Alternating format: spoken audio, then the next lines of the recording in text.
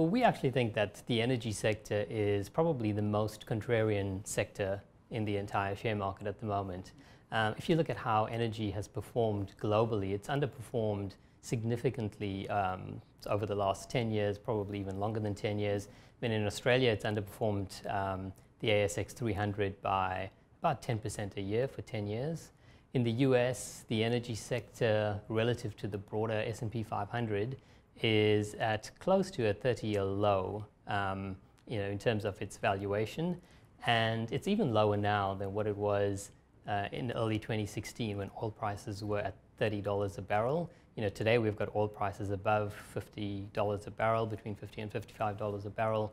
um, and the sector is still cheaper than what it was at that point in time.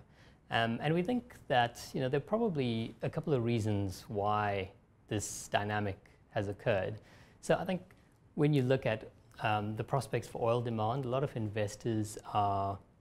quite skittish about what impact um, electric vehicles, for example, will have on demand for oil um, and what uh, the impact of stricter climate change regulations might be going forward. Um, and so I think that uncertainty is causing a lot of investors to pull back from investing in this sector because um, oil demand looks like it's under a lot of pressure.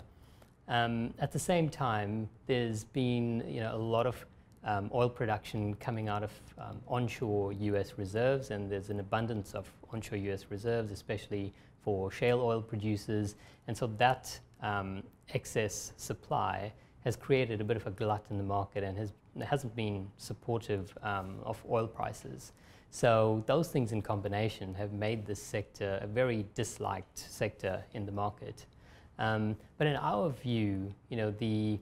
the economics of the industry seem to be dictating that oil prices are just too low at this point in time. And the reason we say that is because, you know, when we look at the shale oil producers in the US who we think are probably the marginal producers in the industry, and that's not entirely clear whether that's the case, but it, you know, it looks like they probably are the marginal producers, um,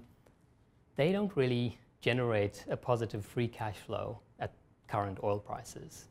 And so, you know, it's hard for us to see how that industry can be sustainable if oil prices don't increase. Uh, you know, we've done a lot of detailed work to try and understand what free cash flow they generate um, when they are at steady state production or when they increase production and in order for them to increase production, oil prices will need to be a fair bit higher than where they are currently.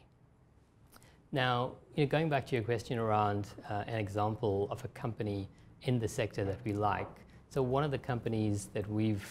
uh, got about 5% of our portfolio um, of our equity fund invested in is Oil Search.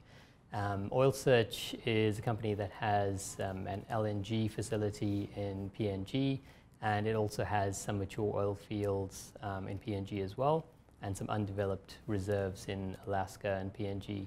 And